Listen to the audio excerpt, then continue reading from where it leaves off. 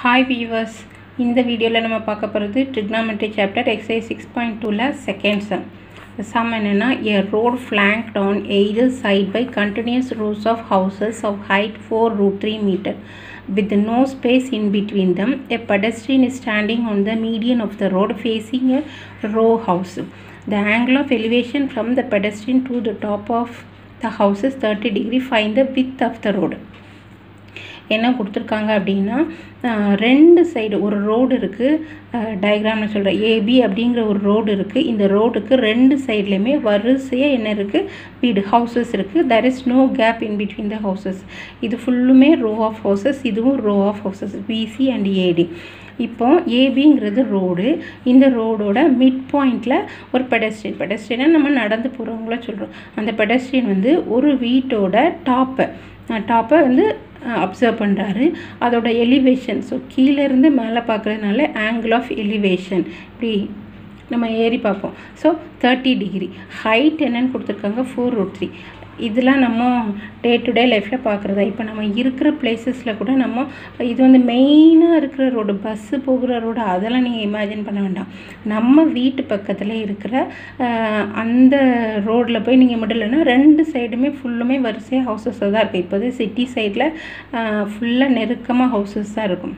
அந்த மாதிரி எக்ஸாம்பிளுக்கு பார்த்துக்கோங்க. ரியலிஸ்டிக்காக கொடுத்துருக்கிற செம்ம ரியல் லைஃபோட கனெக்ட் பண்ணி பார்க்கும்போது இன்னும் பெட்டராக நம்ம அண்டர்ஸ்டாண்ட் பண்ணிக்கலாம். ரெண்டு சைடுமே ஃபுல்லாக ரோடு இருக்குது அப்போ நம்ம இப்போ கடைக்கெலாம் போகிறதுக்கு போகிற சின்ன அந்த ரோடோட மிடில் மிடில் நின்றுக்கிட்டு வீட்டோட மாடியை பார்க்குற மாதிரி. அப்படி நம்ம இமேஜின் பண்ணிக்கலாம். எக்ஸாம்பிளுக்கு தான் சொல்கிறேன் புரியுறதுக்காண்டி. ஸோ ஏபி வந்து width of the road height of the house இருக்கிற அந்த ஒரு பர்டிகுலர் ஹவுஸ்லேருந்து மாடியிலேருந்து நம்ம கீழே உள்ள ஆளை கூப்பிடுற மாதிரி. அந்த ஹைட் என்னென்னா ஃபோர் ரூட் த்ரீ கொடுத்துருக்காங்க. ஆங்கிள் ஆஃப் எலிவேஷன் வந்து தேர்ட்டி டிகிரி சம்மு தான் பெருசே தவிர பட் ஆன்சர் ரொம்ப சிறுசு. If you understand the concept concept புரிஞ்சதுன்னா answer பண்ண ஈஸியாக இருக்கும். ஸோ மறுபடியும் நமக்கு ஒரு ரைட் ட்ரையாங்கிள் கிடைக்கும்.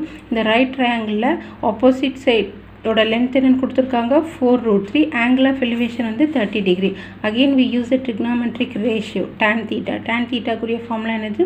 Opposite side by adjacent side இங்கே ஆப்போசிட் சைடோட வேல்யூ என்னது? Four root three adjacent side தான் நமக்கு தெரியாது. வித் ஆஃப் த ரிவர் தான் விக வித் ஆஃப் த ரோடு தான் நம்ம கண்டுபிடிக்கணும்.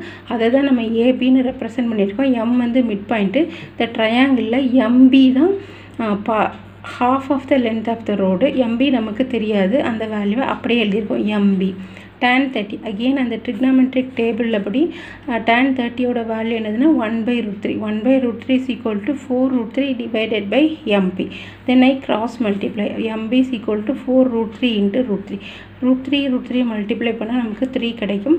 So MB is equal to twelve metre ஏபியோட மொத்த லென்த் என்னன்னா ட்வைஸ் ஏன்னா எம் வந்து மிட் பாயிண்ட்டுங்கிறதுனால இந்த டூவால் மல்டிப்ளை பண்ணால் total width of the road நமக்கு கிடைக்கும்.